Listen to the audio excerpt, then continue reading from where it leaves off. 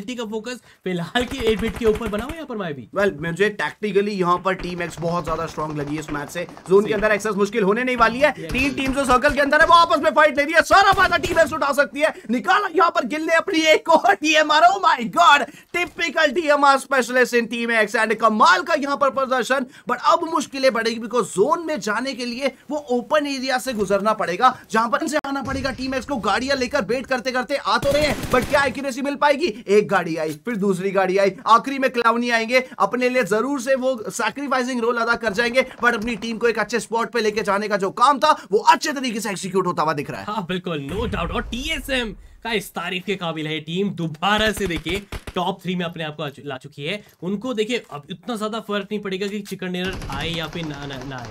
उनको पता है कि उनको बस टॉप थ्री रहना है। बेशक ज़्यादा फिनिश भी ना निकाले लेकिन T X T S M की इस W D black season two cup में यही खासियत रही कि अगर वो टॉप थ्री टॉप फाइव रहे हैं तो फिनिशेस भी डिसेंट यहाँ पर निकालते हुए नज़र आए अभी तक। देखिए पीछे रुके हुए हैं स्काउट अच्छी एक्सेस उनको भी मिल चुकी है। Tsunami is actually coming up with those grenade और मुझे लगता है इस ग्रेनेड से एक नॉक तो ज़रूर से हो सकता है बिकॉज़ उन्हें वो कंक्रीट कंपाउंड छोड़ना पड़ रहा है ओपन में आना पड़ रहा है। नेट का डैमेज लगा बट उसका पता नहीं। जैसे यहाँ पर नॉक हो चुकी है टीएसएम के शैडो उसका वो ग्रेनेड सुनामी को नॉक ज़रूर से करके जाएगा। Gill coming up with grenade ये चिकन टीम एक्स की जोली में पूरे तरीके से जाता हुआ देखने को मिल रहा है। बट अगर टीएसएम ने यहाँ से कम कर करनी है तो यही एक समय है। क्लाउनी ओपन से आ रहे हैं। ट्रेड निकाल के इक्वेशन बराबर करने का यही एक चांस है। शैडो को रिवाइवल मिलना मेरे ख्याल से बहुत मुश्किल हो सकता है। एथनॉक्स वहाँ पर ट्राई करते रहे बट उसका खमियाजा भुगतना पड़ भी सकता है। धीरे धीरे आगे जा रहे हैं। ओपन में स्पॉट करेंगे स्काउट को। क्लाउनी ने वहाँ पर शैडो का भी नॉक निकाल दिया है। तो अब इक्वेशन बराबर नहीं रही है।